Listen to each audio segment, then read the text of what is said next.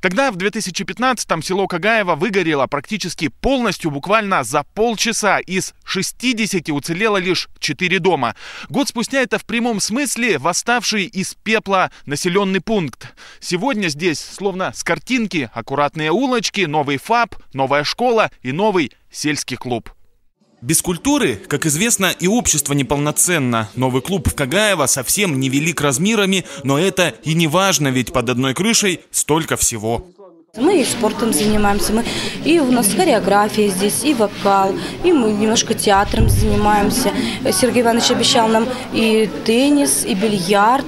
А еще здесь библиотека, концертный зал и уютная сцена. Открытие клуба, несомненно, историческое событие для малого села. Здесь будут справлять все. Тут будут справлять и свадьбы, и дни рождения, и думаю, все. Потому что село, оно действительно вот это такое, э, такая семья, э, которая, ну, вот единая, как скажем, вот, вот целая, вот такая ячейка нашего общества неразделимая. И э, я думаю, в селе, вот самый дружный народ действительно на, на селе. Подарю тебе золотой в соседнем Скагаево селе Кожухово аналогичное празднество. Стоит отметить, что и там, и там заново отстроены не только клубы, фельдшерско-акушерские пункты, а главное – школы. Светлый класс – все современно. В здании и школа, и детсад. Городской уступает разве что размерами, всего на 20 ребятишек, а сельчанам большего и не надо. Она такая красивая, тут туалеты нормальные есть. Классы красивые да. даже.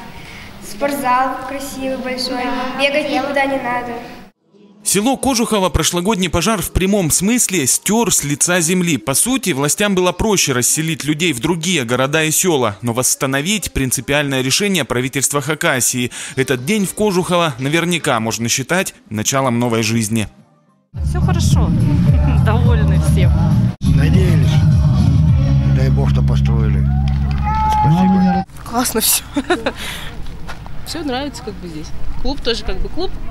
По сравнению с тем, что, что было, меньше просто масштабом сейчас. Ну а так все замечательно.